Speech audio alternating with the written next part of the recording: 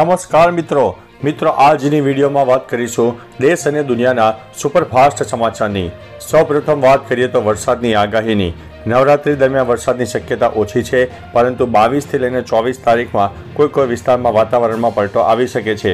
ફક્ત એકથી પાંચ ટકા જ વરસાદની શક્યતા માનીને ચાલવી, બાકી ગુજરાતમાં નવરાત્રી દરમિયાન વરસાદની શક્યતા ખૂબ જ નહીવત રહેલી છે.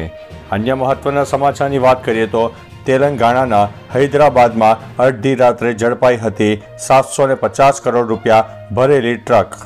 પોલીસ અને ચૂંટણી અધિકારીઓના ચેકિંગમાં ઝડપાઈ હતી ટ્રક. સાતસો પચાસ કરોડની ચલણી નોટો યુનિયન બેંક ઓફ ઇન્ડિયાની હતી. અન્ય મહત્વના સમાચારની વાત કરીએ તો, વલસાડમાં એક મોટી દુર્ઘટના સર્જાઈ છે. બસનું ટાયર ફાટતા લક્ઝરી બસમાં આગ ભભૂકી ઉઠી હતી. અઢાર મુસાફરો તેની અંદર સવાર હતા. નેશનલ હાઈવે પણ જામ થઈ ગયો હતો.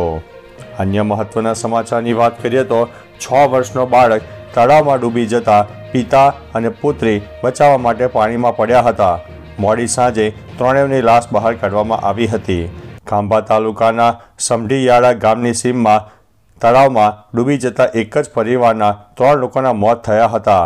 સૌપ્રથમ છ વર્ષનો બાળક ડૂબતા તેને બચાવવા બહેને પાણીમાં ઝંપલાવ્યું હતું અને બાદમાં તે બંનેને બચાવવા પિતા પણ પાણીમાં કૂદ્યા હતા, જો કે ત્રણેયનું ડૂબી જવાથી મોત થયું છે.